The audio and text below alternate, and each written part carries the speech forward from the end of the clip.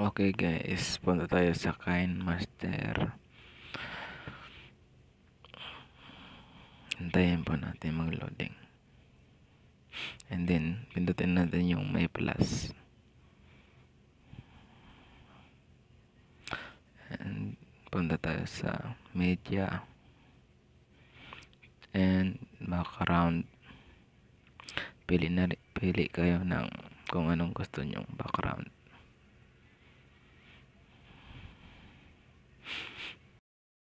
Hindi, punta tayo ng layer and text. And sulat natin kung anong gusto nyong intro. Then, palaki natin kung and saan nyo pwede, saan nyo gusto ilagay. And then, lagyan po natin ang design. No?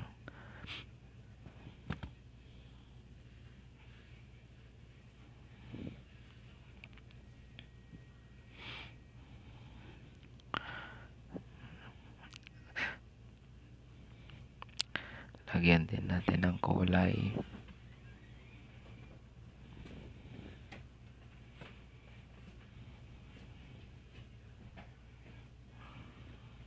Depende na rin sa inyo kung anong gusto nyong kulay.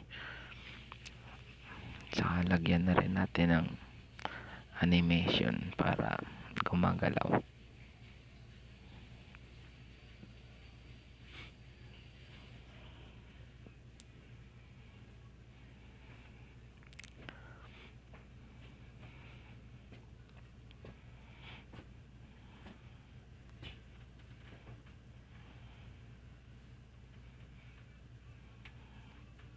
Then, punta ta ulit tayo sa layer and writing. Lagyan natin ang design. Pwede rin, wala rin. Wala na yung depende po sa inyo kung anong gusto nyong design.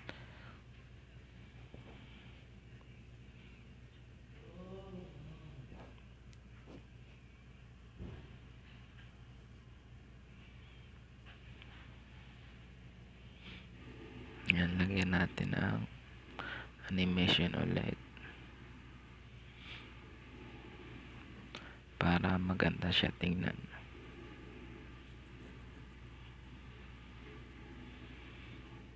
And then, punta tayo ulit ng text. Nagdag po tayo ng letter.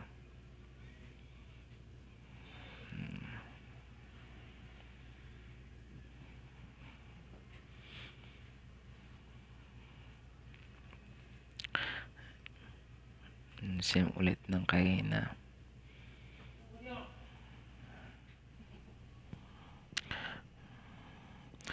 Uh, pwede rin natin lagyan ng design yung letter niya.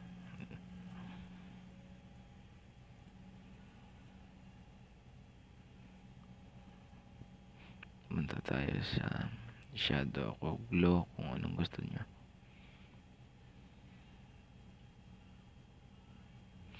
Ayan po.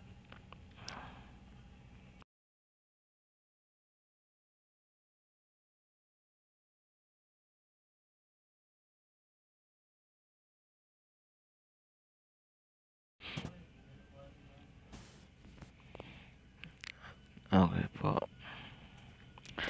Ayan na. Punta po ulit tayo sa text. Tayo ng subscribe.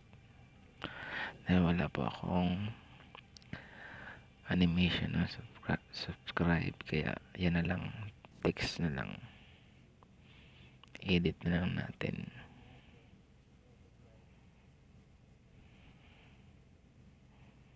Yan, palakihin natin.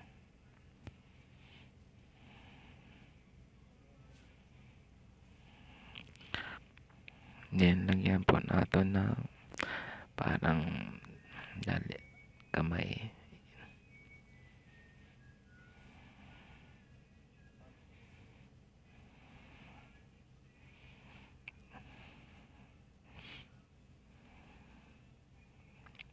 Ayan, parang, ayan, parang okay na.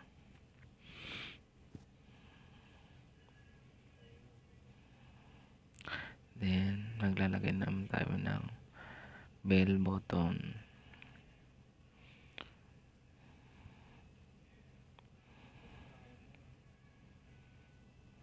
Pag maglalagay kayo ng mga ganun na kamay o kaya yung arrow o kaya yung post button mayroon din dyan makikita sa pindutin nyo lang yung layer at saka overlay punta lang po kayo doon. Then lagyan po natin ng tunog. Yung post button natin.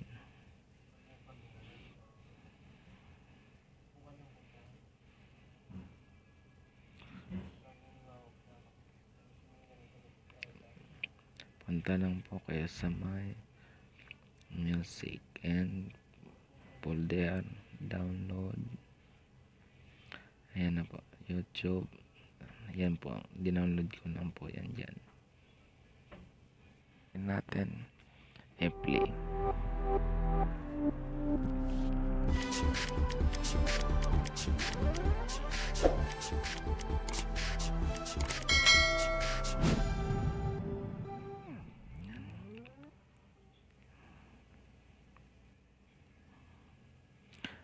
Okay, adjust na lang po natin para magtugma yung tugtog niya.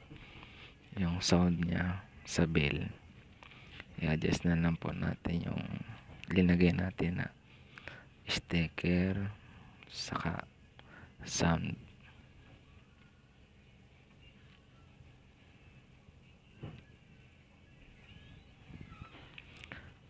Depende rin po sa inyo yan kung gaano ba kahaba yung intro nyo. Pwede nyo pahabaan.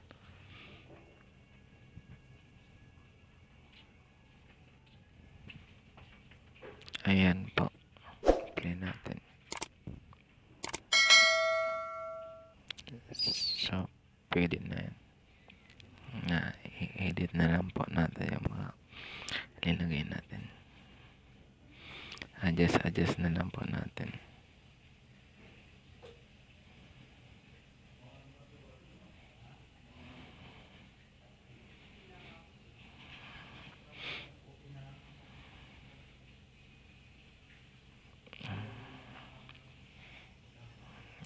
Putulin natin o kaya usog na lang natin.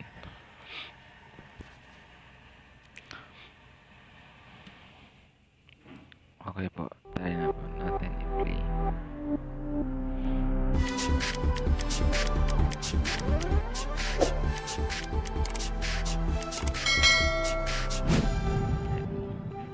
Ayan. Na po. Ah, isip na po natin pindutin natin ulit. Then share. Then export